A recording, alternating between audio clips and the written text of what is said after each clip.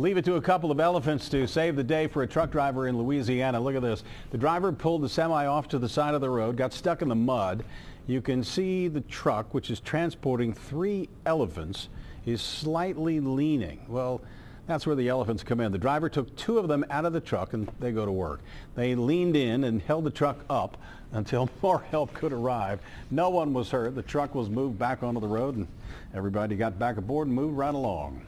That's what we all need to do, carry elephants to help us out.